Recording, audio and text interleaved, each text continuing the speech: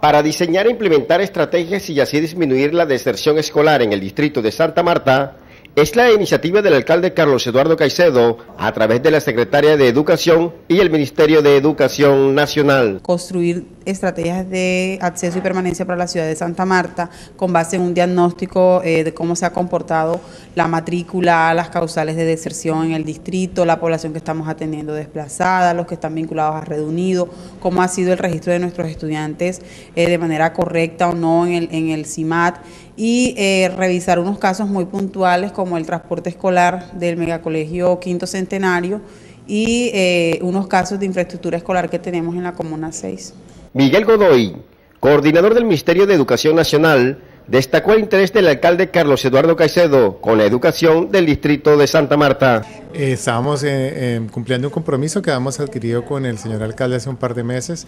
de orientar a apoyar a la Secretaría en varias temáticas. La, de hoy en particular era em, retención escolar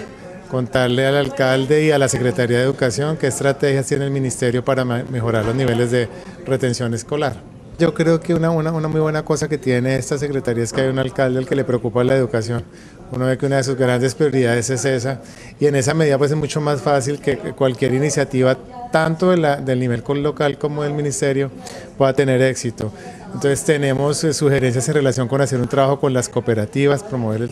digamos, la participación de las cooperativas en, en el sector de educación